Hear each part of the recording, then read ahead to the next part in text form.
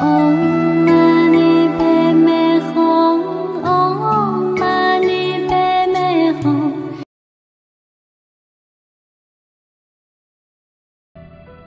Nan Ông thường ở trong chúng Hai thời mang bình bát khất thực. Trong đó Khi gặp tô, lạc, đề hồ Gọi là những món quý. Giảng Từ sữa làm thành sữa đông Lạc Từ sữa đông làm thành bơ, Sinh tô Từ bơ, sinh tô Làm thành phó mát Thục tô từ thuộc tu làm thành đề hồ, là chất tinh túy nhất được tinh chế từ sữa. Thời kỳ thuyết giáo đầu tiên của Đức Phật được gọi là thời Hoa Nghiêm. Thời Hoa Nghiêm được ví như lúc mặt trời mới mọc. Ví khi mặt trời mới mọc thì chiếu ánh sáng đầu tiên cho các đỉnh núi cao. Đỉnh núi cao biểu tượng cho các vị Đại Bồ Tát Kinh Hoa Nghiêm là để giáo hóa hàng Bồ Tát. Thế nên khi Đức Phật nói Kinh Hoa Nghiêm, những vị thuộc hàng nhị thừa, thanh văn, duyên giác đều có mắt mà như mù. Họ không nhận ra được Đức Phật thị hiện thành thân Đức Phật Lô Xá Na, lớn một trượng sáu. Hàng nhị thừa chỉ nhìn được kim thân Đức Phật Thích Ca Mâu Ni cao một trượng sáu, như một lão tỷ khưu già bình thường. Họ có tai không nghe được giáo pháp viên đốn của Như Lai. Họ không nghe được giáo lý viên đốn di diệu trong Kinh Hoa Nghiêm. Năm thời kỳ tuyết giáo của Đức Phật Thích Ca Mâu Ni được ví như sự tinh chế sữa. Giáo pháp trong Kinh Hoa Nghiêm cũng giống như sữa nguyên chất người lớn có thể tiêu hóa được sữa này, người trẻ con thì không thể nào dùng sữa nguyên chất này thường xuyên được giáo pháp thời kỳ quan nghiêm là để giáo hóa riêng cho hàng bồ tát cũng giống như sữa được lấy trực tiếp từ bò thời kỳ thuyết giáo thứ hai của đức phật là thời a hàm a hàm là tiếng sanskrit Hán dịch là vô tỷ pháp, có nghĩa là không một pháp ngoại đạo nào có thể sánh được. Còn gọi là A Tỳ Đạt Ma, có nghĩa là pháp tiểu thừa. Trong ví dụ về sự tinh chế sữa, thời A Hàm được ví như sữa đông, lạc, được tinh chế từ sữa nguyên chất. Tính chất của sữa đông, lạc không đậm đặc lắm, trẻ con dùng rất tốt. Nó rất dễ tiêu hóa. Ví như mặt trời mới mọc. Thời kỳ thuyết giáo thứ hai được biểu tượng cho ánh sáng mặt trời chiếu đến vùng thung lũng. Có nghĩa là dùng đất thấp hơn, ánh sáng mặt trời cũng chiếu đến được. Thời kỳ thuyết giáo thứ ba của Đức Phật là thời phương đẳng. Trong ví dụ về sự tinh chế sữa thời phương đẳng được ví như bơ, sinh tô, do trích từ sữa đông lạc mà ra, ví như ánh sáng mặt trời chiếu rộng khắp mọi nơi trên mặt đất. Thời kỳ thuyết giáo thứ tư của Đức Phật là thời bát nhã.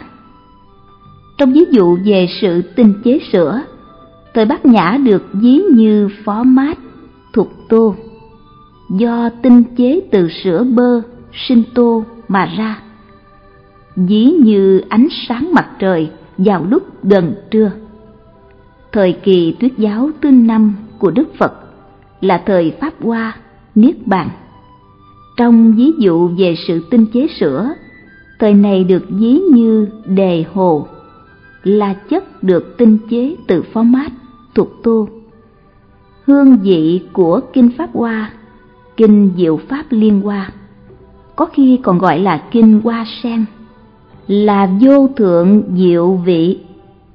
Trong ví dụ về ánh sáng mặt trời, kinh Pháp Hoa được ví như mặt trời chiếu ngay trên đỉnh đầu. Lúc chín ngọ, mặt trời chiếu khắp mọi vật, cả đỉnh núi cao, cả thung lũng, và khắp cả mặt đất nơi đồng bằng. Kinh Pháp Hoa là bộ kinh rất quan trọng trong đạo Phật. Kinh Thủ Lăng Nghiêm là để khai mở trí huệ, chỉ ra con đường tu tập. Kinh Pháp Hoa là để tự thành Phật đạo. Mọi người y theo giáo nghĩa Kinh Pháp Hoa mà tu hành thì đều được thành Phật. Như trong Kinh Pháp Hoa nói, chỉ cần niệm một câu Nam Mô Phật là đều được tự thành Phật đạo. Kinh Pháp Hoa là để khai quyền hiển thật, mở ra phương tiện để hiển bài thật tướng. Giáo lý trong kinh chỉ hiển bày pháp chân thật, các thứ hư vọng đều được loại trừ. Kinh Thủ Lăng Nghiêm và Kinh Pháp Hoa rất quyền diệu, rất quan trọng.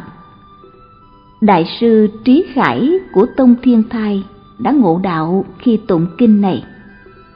Sau khi Đại sư Trí Khải ngộ đạo, Ngài nghe nói đến Kinh Thủ Lăng Nghiêm, nên hàng ngày Ngài hướng về phương Tây, Ấn Độ, lễ bái với bổn nguyện được đọc tụng kinh này. Nhưng mặc dù Ngài đã lễ bái phát nguyện suốt 18 năm, Ngài vẫn chưa được trông thấy và đọc tụng kinh này. Quý vị có cho rằng đáng tiếc không? Thật là các vị cổ đức xưa nay có tâm cung kính Phật Pháp biết bao. Có người đã từng lại Kinh Pháp Hoa và Kinh Hoa Nghiêm. Cứ một chữ trong kinh, họ lại một lại, lại suốt ngày từ sáng đến tối. Có người đã được khai ngộ khi lại kinh. Như vậy, có rất nhiều pháp môn để tu hành. Bất luận tu tập theo pháp môn nào, quý vị cũng phải chuyên chú, nhất tâm vào pháp môn đó. Đừng nên một mặt tu tập, còn mặt kia thì khởi dậy vọng tưởng. Chẳng hạn, tôi biết ở đây có một số vị nghe giảng kinh mà thực sự là chẳng nghe. Họ nghĩ rằng một lát mình sẽ gọi điện cho cô bạn gái, hoặc là làm sao để trả lời bức thư mình vừa nhận được. Với sự chú tâm vào những chuyện ấy, làm sao mong có được chút nào tương ưng trong Phật Pháp. Nhưng họ vẫn chưa tỉnh ngộ. Họ không nhận ra rằng, à, nay mình đang tu học Phật Pháp, nên buông bỏ mọi chuyện và nên tập trung chuyên nhất vào việc tu học. Thế nên cuối cùng, họ vẫn không hình dung ra được điều tôi vừa giải thích. Và đôi khi nếu họ nhận ra được điều ấy họ lại nói rằng đó là điều vô ích lại là một loại sai lầm khác.